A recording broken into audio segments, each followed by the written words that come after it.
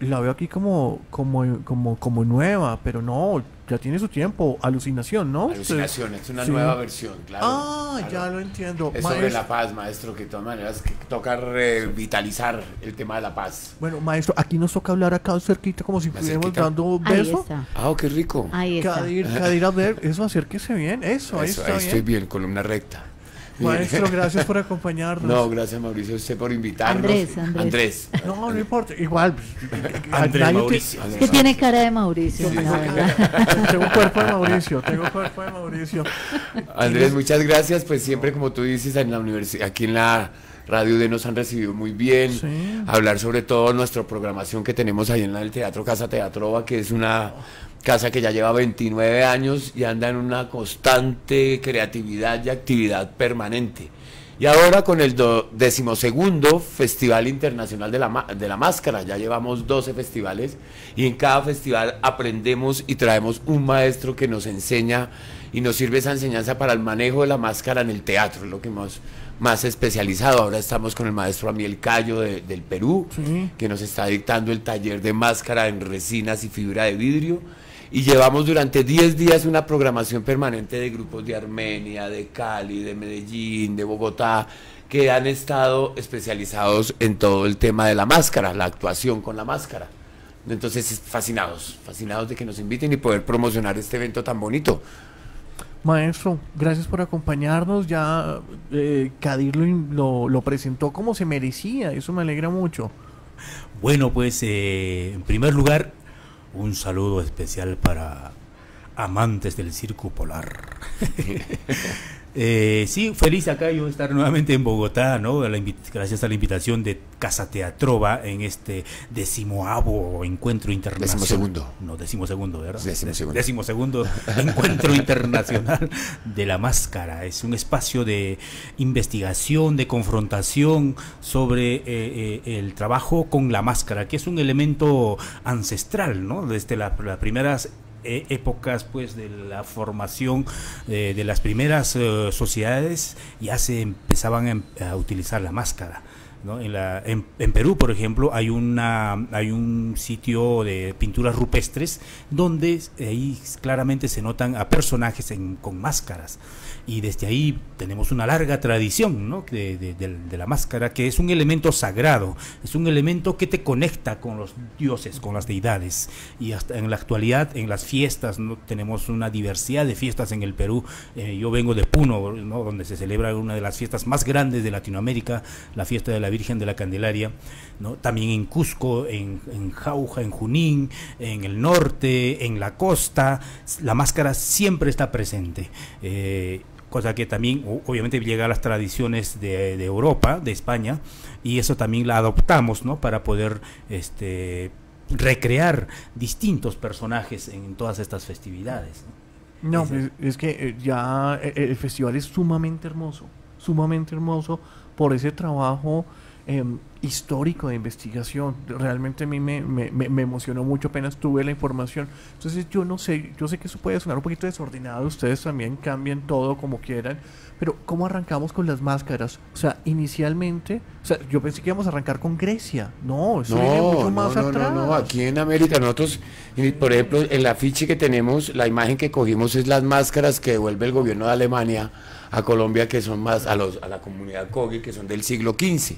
Y si tú te pegas un viajecito por el Museo del Oro, lo que más tenemos de identidad son máscaras.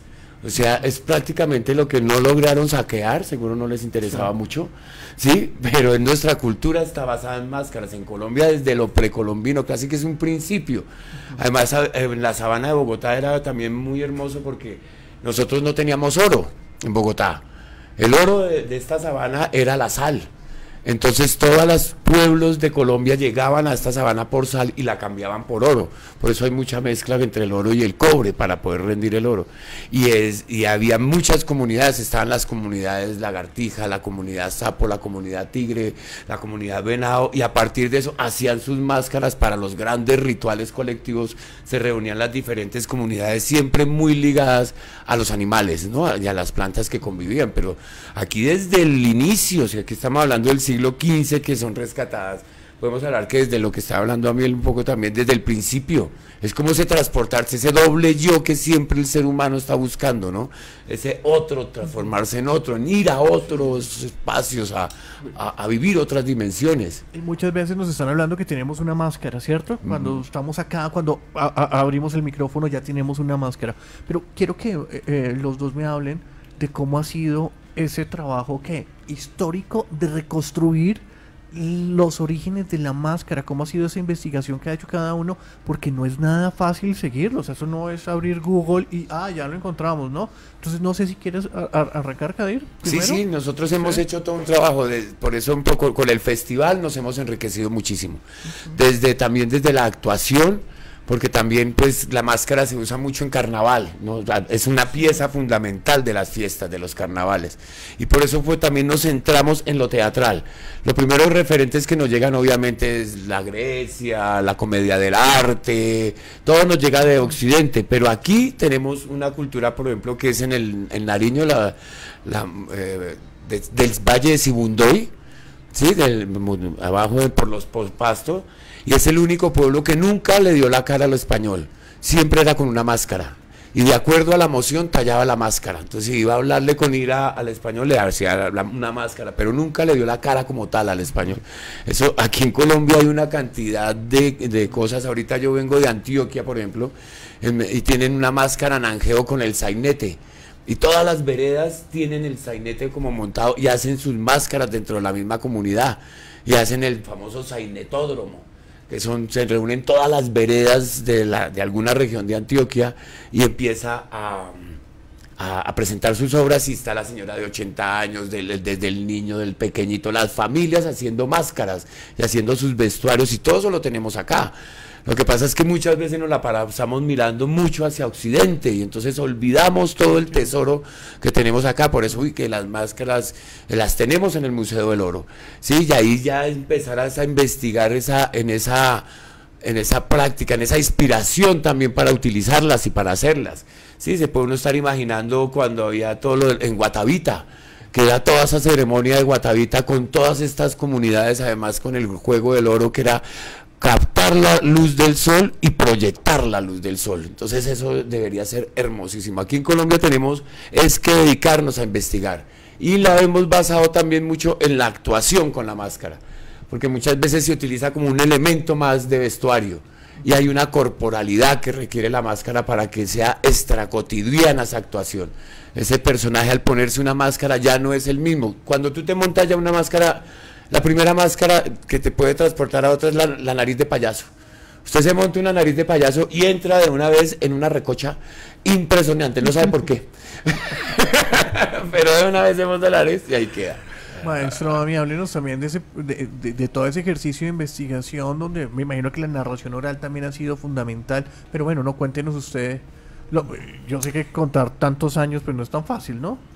Bueno, en mi caso la máscara la, la, vengo, eh, bueno, no trabajando, sino asimilando, digamos, desde la niñez. En la fiesta de, mi pueblo, pues, la mayoría de las danzas son con máscaras, sobre todo la máscara del diablo, ¿no? Es una máscara terrorífica, este, que tiene pues no solamente los cuernos, los ojos saltados, tiene serpientes, sapos, este, eh, calaveras, oh. ¿no? Viene todo recargado esta máscara del diablo. Es, pero eh, es una máscara que representa, digamos, a una deidad, ¿no? Eh, porque cuando los españoles llegan a, Latinoamérica, ¿no? ven a las comunidades originarias eh, hacer sus rituales, entonces obviamente los curas dicen, oye, ese culto no es para el Dios, ese culto es del diablo. Y entonces nosotros nos asumimos pues diablos, Y por eso que en toda Latinoamérica, en Colombia, Ecuador, Bolivia, Chile, este, Perú, ahí encontramos infinidad de danzas de diablos, ¿no?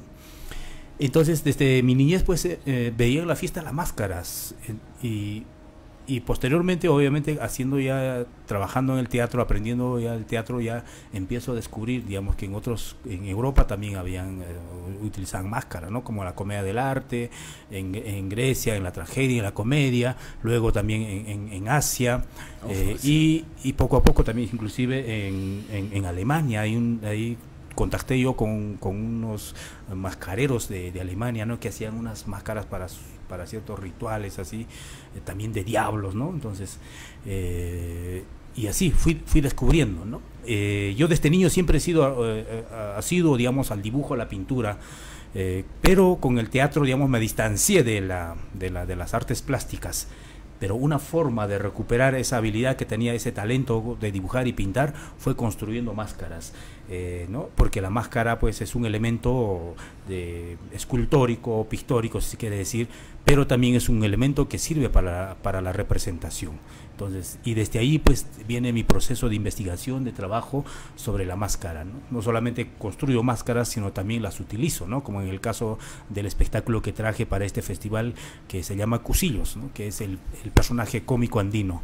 Es un espectáculo todo íntegramente hecho con personajes enmascarados, ¿no? Y hay máscaras de, este, de diferentes técnicas, ¿no? Hay tejido en lana, este, en cuero, también máscaras este, en, fibra de vidrio, eh, que yo mismo las, las he construido, ¿no? Para este espectáculo. Entonces, ese es, digamos, mi, mi, mi viaje que, que estoy todavía, ¿no? Realizando con la máscara. Maestro, ¿lleva más de 30 años trabajando? 40. 40. no, ya, ya, como decimos en Perú, ya, está, ya estoy tío. y, y, bueno, me, me, alegra que me haya corregido con la pronunciación porque yo pensé que era cusillos o cusilos. Sí, bueno, uh, depende, ¿no? Este, Puede decir cusillo se entiende, ¿no? Pero uh -huh. originalmente en el quechua o en el aymar se dice con la es, es, bien gutural, ¿no? Cusillos. Entonces, sí, es un poco complicado de pronunciar a veces esas palabras, ¿no? Inclusive también este, ahí uno, uno puede decir pa, uno puede decir pa y uno puede decir pa. Entonces, pero significa diferente, ¿no? Pa, pata, por ejemplo, pata es algo que está sobre, eh, pata con F, con pata es algo que, que puedes triturar o reventar ¿no? este, con, con, los dientes. Y este no, pata sí, reventado. Y pata es reventar con los dientes. Pata es como re, este, cocinar algo y se eh, un grano y se revienta, ¿no? Okay. Pero pata es ya es triturar. ¿no?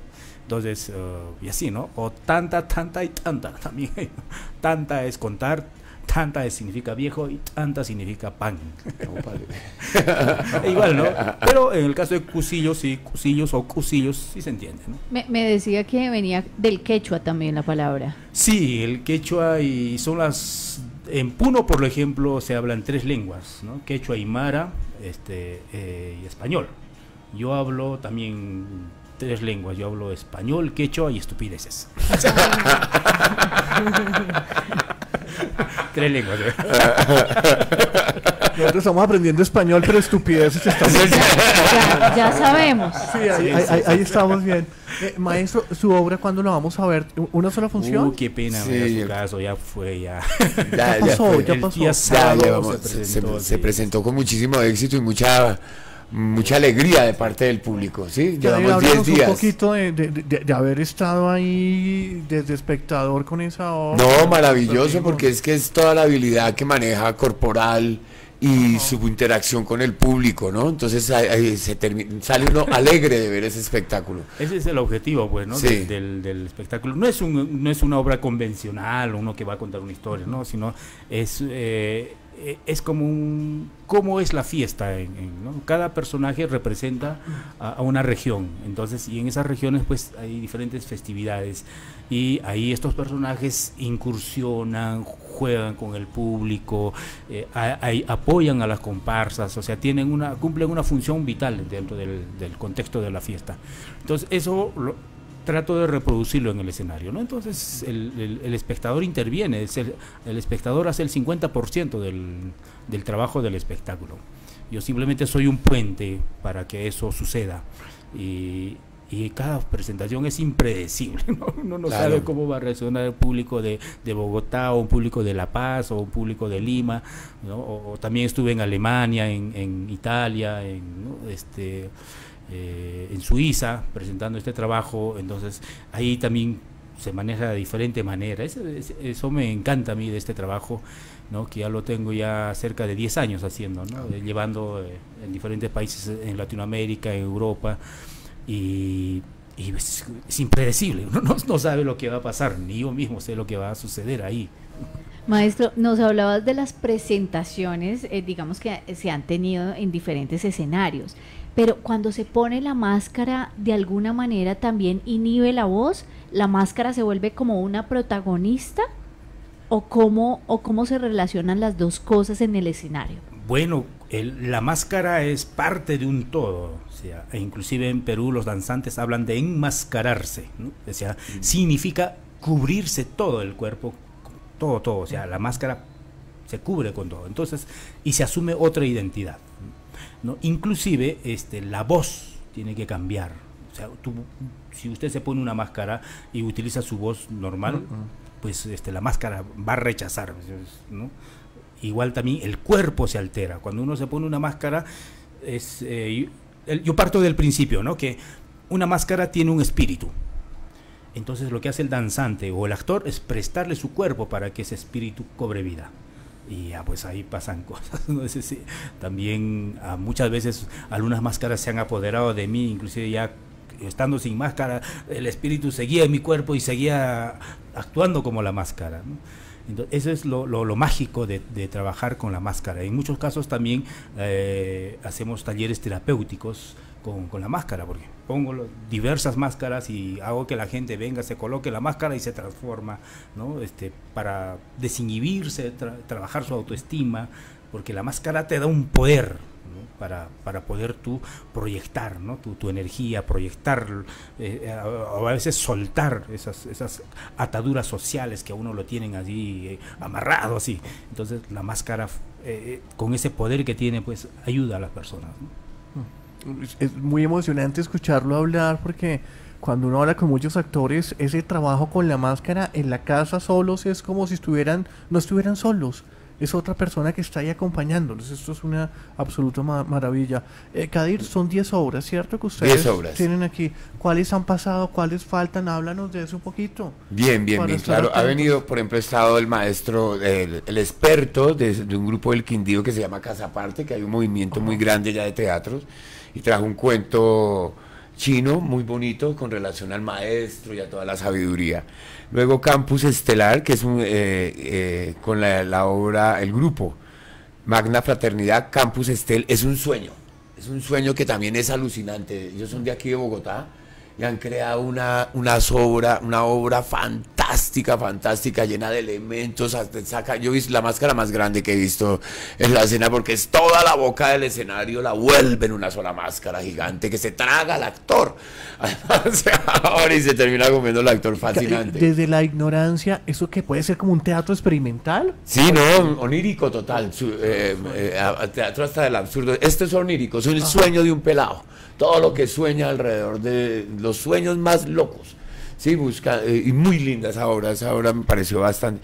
Está Cusillos, por favor, que eso fue un divertimento fantástico, nos divertimos además con la corporalidad que tiene a Miel, con toda esa energía que bota y esa participación con el público y las máscaras bellísimas. Hermosísimas, las estoy viendo en la fotografía, se ve bellísima. ¿Qué, podemos? a ver, a ver, ah, a ver yo la, voy a poner acá para que los oyentes lo vean. Eh, eh, cusillos, ese Cusillos. Hay que, el, el, el, esta agua que vinieron los compañeros de Bucaramanga, Títere en la azotea, sobre todo una defensa del páramo de Sarturbán, en muñecos y máscaras, muy bonito. Ayer, eh, el lunes estuvo nuestro Edwin mismo con todo un trabajo que él, estuvo estudiando en Italia y trae todo un trabajo de comedia del arte clásico, así, pura comedia del arte, improvisación, su corporalidad, muy chévere.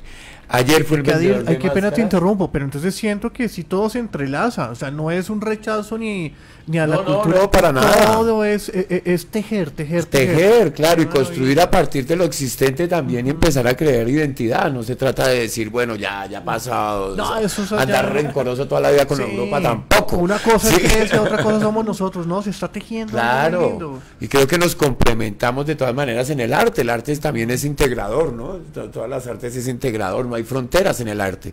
De todas maneras, y eso es lo que nos ayuda a seguir creando a partir de lo construido, no tratar siempre de estar como tratando de inventarse la rueda, pues se demora uno mucho más, pero si tiene muchos elementos para crear nuevas cosas, pues qué bien que sea de, de que nazcan del mismo conocimiento, ¿cierto? Y además es rico, ¿no? Ver toda una, una diversidad de, de, propuestas, tanto de la comedia del arte, también eh, de la experimentación. experimentan con historias de, de Oriente, en el, caso de ayer, ¿no? Así muy, muy divertida, muy fresca el trabajo de, los compañeros eh, y también otros, claro, en el caso mío, de este, trabajando desde las danzas originarias, de los personajes ancestrales, pero también este es este, este festival pues es, un, es una, una vitrina ¿no? y, es eh, envidia sana ¿no? para, para una ciudad como Bogotá. O sea, en Perú no hay una, una festividad, un, festival como este, no hay. Me encantaría, menos en Bolivia, que ahora estoy por La Paz, trabajando, abriendo espacios también en, Bolivia.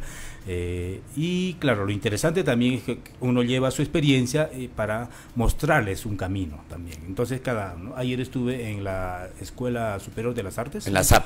En la SAP. Este, también compartiendo un poco de, de mi preparación actoral y a, los, a los jóvenes. Eh, entonces yo le digo, bueno, no, uno no, no es dueño de la verdad, pues, ¿no? como tú dices, o sea, estamos abiertos a todos los saberes, ni yo mismo, ¿no? Yo, yo he encontrado un camino que se los muestro y ya ellos lo toman para poder este, también hacer su propio camino, ¿no? No, pero qué gran regalo para la academia, 40 años de experiencia, tenerlo acá para, para toda la facultad de artes, esto es muy, muy importante. Eh, protagonista de películas, además, también, sí, ¿no? Sí, maestro es actor de cine y todo. Ahorita ganó un premio, ¿no? Estaba con la película que. Retablo. La última. Ah, retablo. Retablo, claro, es, es una película, es una de las películas más premiadas del cine peruano. Hemos estado asícito para estar nominados a los Oscars con esa película. Es una experiencia grata, ¿no? y también hice otras producciones y, y sigo trabajando, ¿no? Eso es, es, un lenguaje muy distinto al teatro o el cine, el cual también he tenido que ir aprendiendo, ya tengo 10 años de carrera en, el cine, eh, otros 30 en el teatro, eh, entonces era desaprender lo que había aprendido en el teatro para aprender, ¿no? Eh, las, técnicas de actuación para cine. Entonces, y bueno, también he tenido muchas este, gratas este, sorpresas ¿no? que, el, que el cine me ha, me ha, me ha brindado. Kadir, yo te interrumpí en medio de la programación. Sí, vamos. Hoy. no, no, bien, bien, bien. Hoy, hoy tenemos a, a, eh, T para tres. Que Ay, ya qué es lindo. máscara expresiva. Son tres actores con máscara expresiva que ya es más corporal, porque la máscara ya tiene todo el gesto. Y así con todo un trabajo de pantomima, de corporalidad, que es como un relajo bastante interesante, como de. Imagínense, como dice la presentación de la obra, imagínense a sus tías tomando el té. Y ahí para allá. todo lo que podamos imaginar. Pero además tiene el nombre de una canción de Soda Stereo. ¿Será que pasa algo ahí? ¿Tiene pues yo voy a verla esta noche, yo apenas vi el video, vamos a ver. Pero bien. Y mañana tenemos una obra de Medellín, muy, muy, también muy absurda, que son 12 asaltos escénicos con máscara. Y es en un ring de boxeo. Son tres mujeres con un montón de máscaras súper locas y haciendo, planteando 12 cuadros escénicos en ese ring de boxeo. Entonces va a estar buenísima. El viernes tenemos al grupo de Cali, el Laboratorio de la Máscara, con el maestro Carlos Rojas, con este divino pastor Góngora, que es un cuento también medieval es muy de comedia al arte, es un actor haciendo más o menos siete personajes, trabajando con diferentes máscaras. Entonces ese también es otro de los retos. Supongo yo que se pone una máscara y... Se voltea y, se coloca la otra. increíble, y cambia de personaje. Y cambia de personaje dentro del mismo, hace como varios personajes en uno. Como el maestro Cusillos también, que tiene como, ¿cuántos son? Como cinco, seis, cuatro. Cuatro, cuatro. Y vamos nosotros el sábado con el cierre, que es ya la alucinación que es una obra escrita por Carlos Parada, que es con todo el tema de la paz. Pero aquí es, es inspirada en la, paz del príncipe de Maquiavelo, ¿sí? que todo gobernante tiene que estar haciendo la guerra para que le crean, si no, no le creen que está gobernando, y él quiere hacer la paz y todo el sistema se va en contra de él.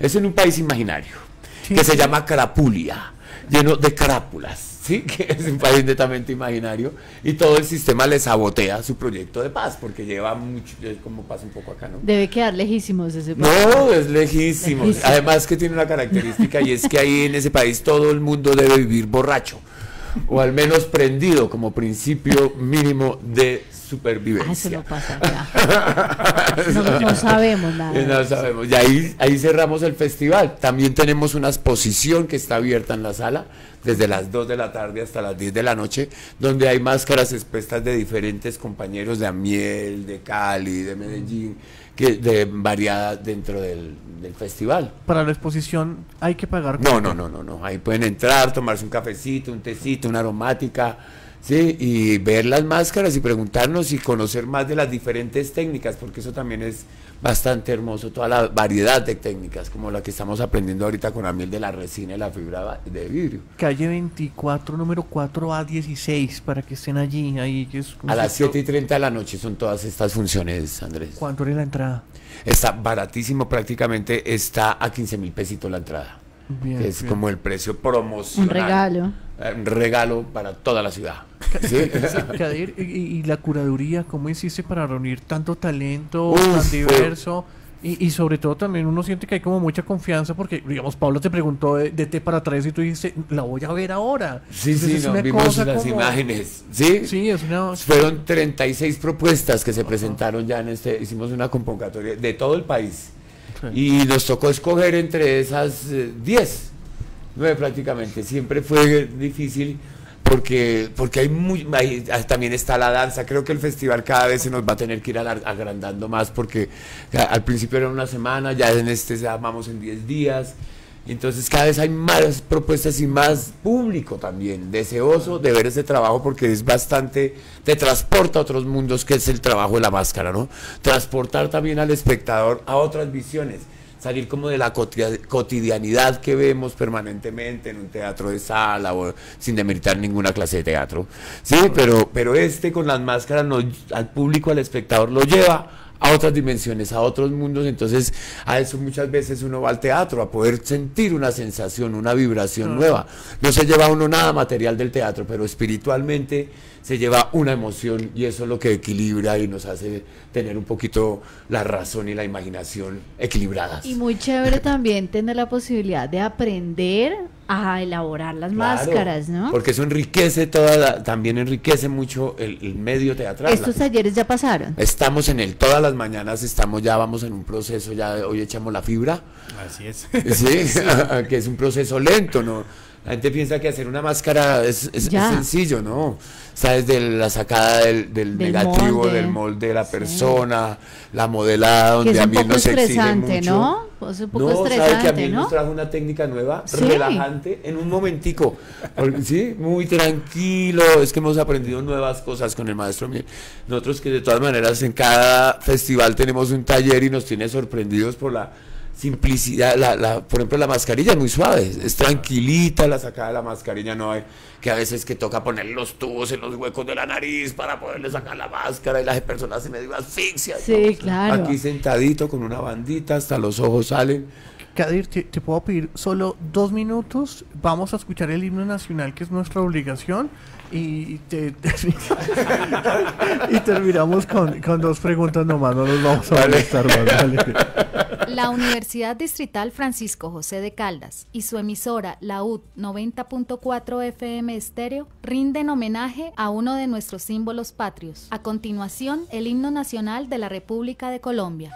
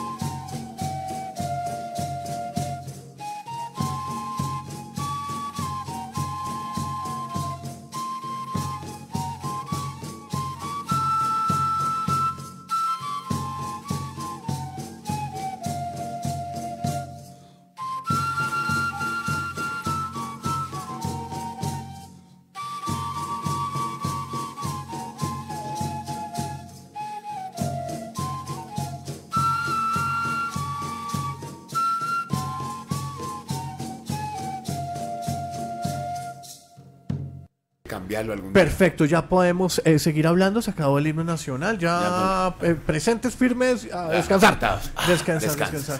Mm, eh, bueno, En Paula. Perú dicen, vive el Perú, y nosotros respondemos, Big Vaporú. Paula, Paula le estaba preguntando por las máscaras, por los talleres y, y nos estabas hablando también de nuevas técnicas. ¿Podemos participar del taller o ya esta tarde simplemente podemos mirar qué, qué Eh, pueden ir pasar a mirar. Ya, listo. Sí, de observadores, porque ya vamos avanzando, ¿cierto, maestro? Hemos estamos ido- en la última etapa ya. Entramos- Ma- mañana entramos a la última, son dos días más de taller y, y se termina. ¿no? Ma- maestro, ¿nos puede hacer como un resumen de lo que se hizo? O sea, ¿qué fue lo que usted planeó en, en ese taller de, de máscara, por favor? Bueno, en principio eh, está estructurado en seis días el taller. ¿no? Sí. El primer día es sacar una réplica del rostro de, la persona, porque eh, sobre esa réplica en que es en yeso se, se trabaja la máscara y de tal manera que la máscara pueda encajar, digamos, en, en el rostro del- de la persona, ¿no? del, del actor, del danzante. Y eso es el, el primer día. Luego se empieza con la segunda etapa que es el modelado en arcilla. ¿no? Hay que sobre eso modelar, darle pues los pómulos, la nariz, este, ¿no? Que poner la- el gesto a la boca. ¿La personalidad es de lo Sí. físico o, Sí, o- o cómo para mí es, es como, como les dije anteriormente, cada máscara tiene un espíritu que después el actor o el danzante le va a prestar a, ese- el- a su cuerpo, ¿no? Entonces, ¿qué hace? El más carero hace que captura ese espíritu, captura el espíritu de, de- ¿no? Y lo y lo este y, y lo estampa digamos en la arcilla un- con un gesto una gestualidad lo- con los ojos entonces Ma- maestro, en ese, en ese espacio, ¿usted le da que rienda suelta como para que hagan lo que quiera, experimenten? ¿O hay una pequeña guía de, mira, ¿qué quieres? De todas maneras, tiene que haber. eh, a ver, yo trabajo con un diseño, ¿no? Como Sí. tengo la habilidad de dibujar, entonces dibujo más, hago un boceto de la máscara que quiero trabajar y, y eso me ayuda, digamos, a plasmar. Pero en este caso, pues la, hay personas que no tienen la habilidad de dibujar, ¿no? Simplemente se lanzan a, a poner. Y yo les voy conduciendo, yo les voy guiando, ¿no? Cómo tienen que poner la forma de los ojos, cómo tienen que armar la boca, la nariz y, y de todas maneras una máscara va a exagerar el, el rostro humano. Nunca es tal cual, ¿no? Una máscara. Sí. Este, siempre se acentúa los, los rasgos eh, físicos humanos. Eh, y eso es, digamos, eh, dura. Y el tercer día ya pues es eh, sacar el molde, ¿no? Hacer un negativo de, esa, de ese modelado en arcilla, en yeso se saca un negativo. Y el, el- cuarto día ya viene lo que es la etapa del laminado. ¿no? Este, uno puede usar diferentes técnicas. yo utilizo gasa con algodón, papel marché, este, acerrín con cola, o sea, hay, hay muchas técnicas. Y una de las eh, técnicas del cual soy especialista eh, y pionero también en el Perú es el manejo de la resina con fibra de vidrio. Es un material industrial, ¿no? Con lo que se hacen ah, inclusive autos, todo tipo de, de, de, mm, de artículos eh, que, que vemos en la vida cotidiana, pues están hechos en fibra de vidrio. ¿Es muy costoso? No, no, no es muy costoso.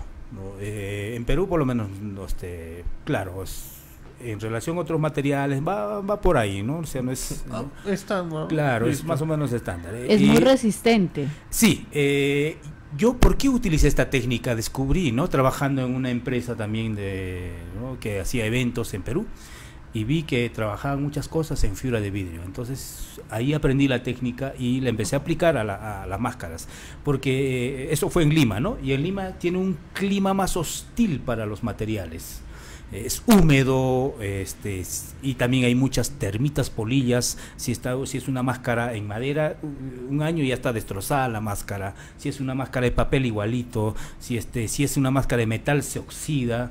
Eh, entonces las máscaras no, no resistían. Aparte que los danzantes o los actores cuando trabajamos pues sudamos mucho no y las máscaras terminan pues destrozadas así no, no entonces dije, ¿qué material podría ser? Entonces encontré este material, es un material alternativo. Claro que el proceso es de mucho cuidado cuando uno trabaja, manipula los químicos que se emplean para esta, ¿no? La- para la, resina y la fibra. Entonces nos protegemos con mascarillas, usamos guantes para que no, no nos dañe la salud.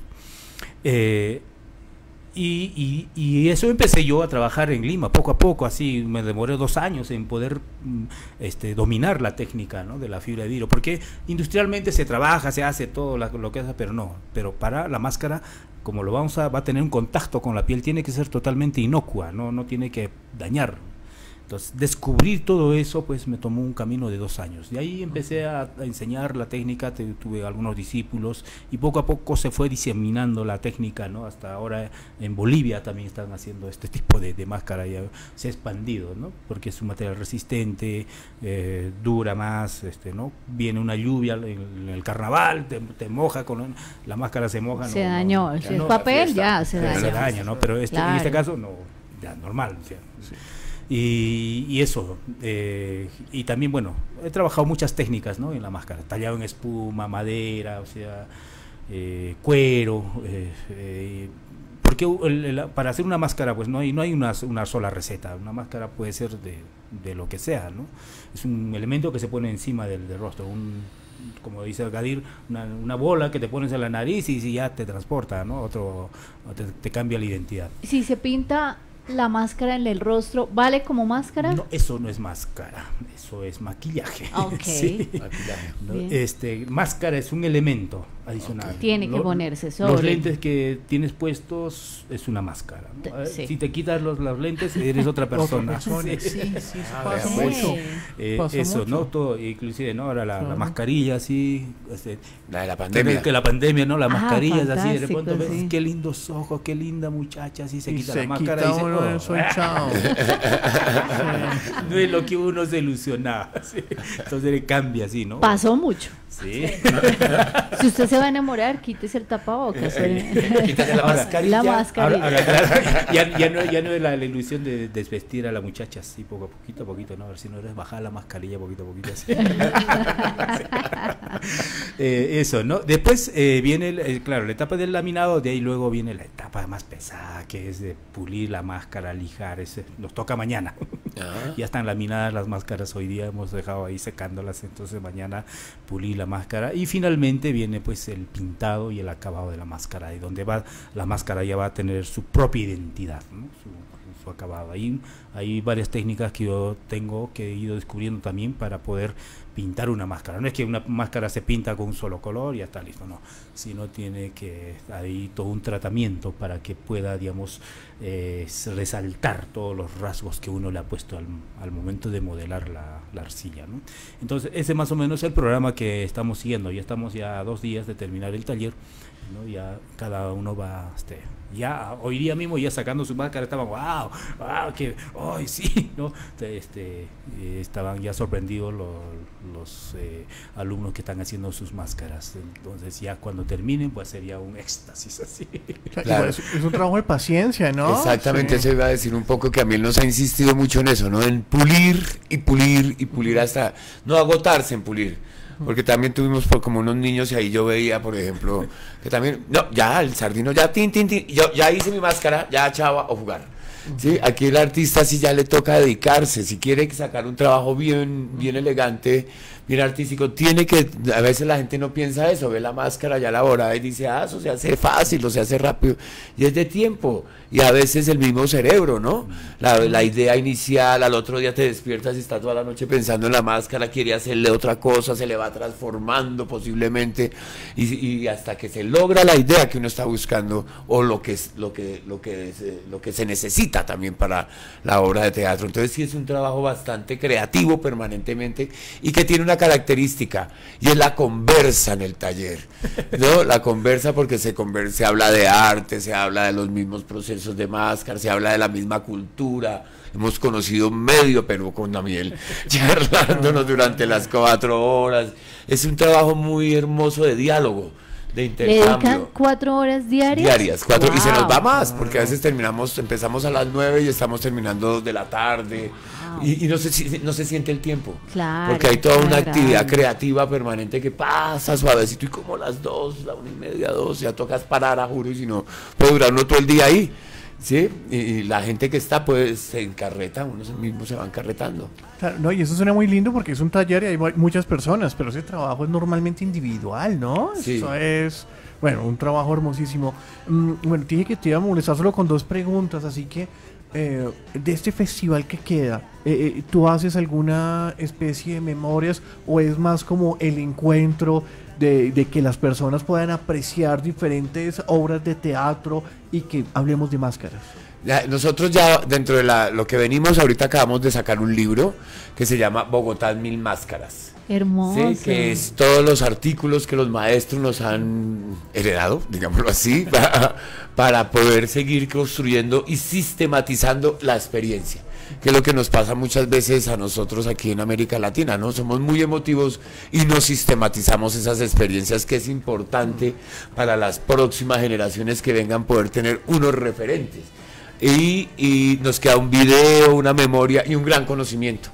Además, sí, casi que prácticamente como lo mismo el espectador cuando va al teatro, no se lleva nada material, pero queda con un conocimiento y una espiritualidad llena y eso es lo que nosotros ahorita para continuar haciendo talleres en la Casa Teatro vamos a Estamos inaugurando también un espacio para el taller, para talleres, y vamos a empezar a tener talleres permanentes de elaboración de máscaras durante todo el año, ir formando también un público durante todo el año especializado en las máscaras y yo creo que en un par de años el 90% de obras de teatro que se presenten en Bogotá van a tener máscaras.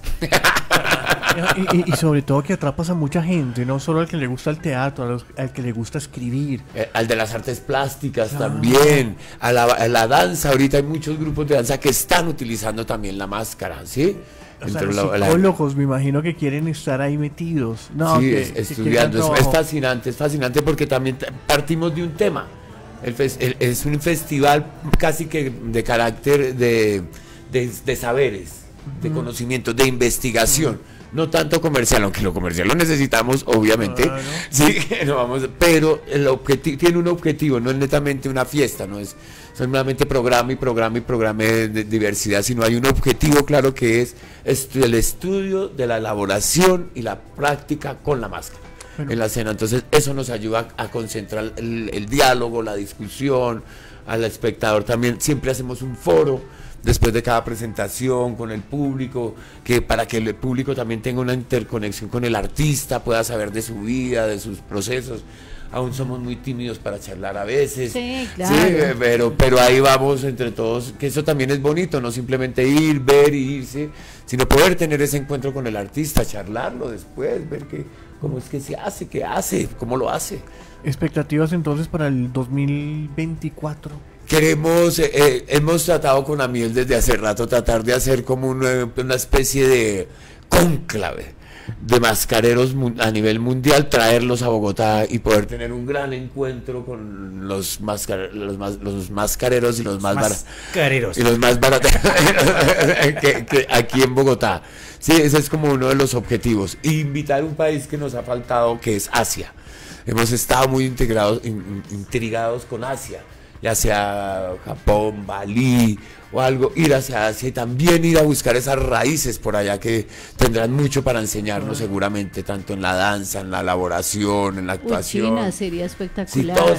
de algo. Hay un, hay un hombre que es el nombre de las mil máscaras también, ¿no? En la China, que el man se cambia de máscara, no sé si es un papelitos o qué, pero 100 máscaras en menos de un minuto, debajo del sombrero. Esa cosa debe ser espectacular. Sí, ¿cómo lo hará? ¿Quién sabe? Pero, creo que, pero sí queremos irnos a Asia también, averiguar algo de Asia, que sería muy... Y que cada movimiento es una palabra, o sea, sí, como cosas que uno ve que no entiende por nuestra cultura, entonces sí, sería muy enriquecedor. Claro, y allá el teatro no, y todo, los colores tienen un significado, el gesto de una mano tiene un significado, eso también sería muy lindo a, aprenderlo, observarlo y, de pronto asimilarlo y ver cómo seguimos enriqueciendo nuestros procesos. ¿sí? es fantástico. Kadir, gracias por acompañarnos, por venir. Además que en medio del festival tomes el tiempo para venir, me, parece que es un gran gesto con, nosotros. Eh, es, es, imposible no quererte con este tipo de gestos y sobre todo con el invitado que traes Maestro Miguel, gracias. Una maravilla. Gracias, gracias por Tenemos venir. invitaciones de pronto para aquellos oyentes que quieran echarse la llamadita. Llame ya. Llame ya y tenemos unas invitaciones para que la Perfecto. programación que siga. Listo, ¿sí? De entonces aquí para al que sábado. estén pendientes, ahí eh, escojan la obra de teatro, ahora miramos las obras y... Por y hacemos- Instagram está, por Facebook sí. pueden Ajá. encontrar teatro Eso, por ¿Dónde todo. lo siguen para el que tenga información? de que Instagram, quiera? Facebook, eh, Twitter. Casa Teatro. Casa Teatro. Así aparece, sí. Es, y, y en YouTube también, ahí tenemos cositas en YouTube sobre crónicas teatrales, que ese es otro tema bonito que estamos abordando. Igual, la boleta está en 15 mil pesos, por si no alcanza, que no sé qué, que no está seguro, llegue allá, llegue allá que, que está muy bien de precio, para que, para que lo disfruten. Maestro, gracias por venir. Gracias Andrés, Gracias gracias. Además, muy rica la conversa, nos esperamos también por allá, que se peguen la rodadita. Muchísimas gracias.